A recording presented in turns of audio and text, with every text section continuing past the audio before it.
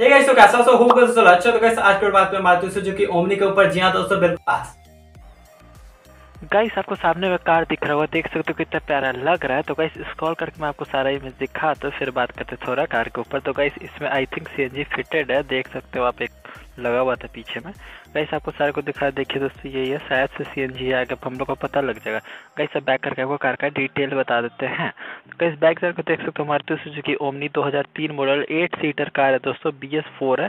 अस्सी हज़ार इसका प्राइस है दोस्तों। ये आपको पेट्रोल वेरिएंट में मिलेगा गाइस और आपको इसमें सी एन जी नहीं मिलेगा तो सॉरी दोस्तों।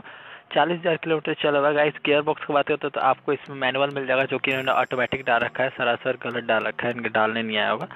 गाइस आपको सेकंड ऑनर पड़ जाएगा। ठीक है दोस्तों।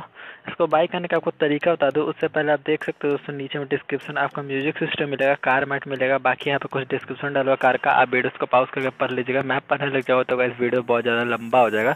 गैस इसको मैं बाई करने का तरीका बता दूँ। नीचे में आपको चैट का ऑप्शन देखोगे। उस पर जैसे क्लिक करें, कुछ इस टाइप का कोई इंटरफेस मिलेगा। कंटिन्यू टू चैट पर क्लिक करके टाइप हेड पर क्लिक करके गैस यहाँ पर जो आपका प्राइस आपको लगता है कि हाँ मैं इतने तक इसे परचेस कर सकता हूँ, वो यहाँ पर डाले। जी हाँ दोस्तों, आपको लगता है कि हाँ मैं इसे सत्तर तक परचेस कर सकता हूँ, वो डाले। सामने वालों को पसंद आएगा तो अपना कॉन्टैक्ट नंबर देगा उस कॉन्टैक्ट नंबर पर कॉल करेगा एक लोकेशन डिसाइड करेगा वहाँ जाकर कार को देखेगा। पसंद आता है तो ले अदरवाइज़ स्किप कर दे। आज के वीडियो बस इतना ही, मिलता है अगले वीडियो तब तक अपना ख्याल रखे जय हिंद, जय भारत।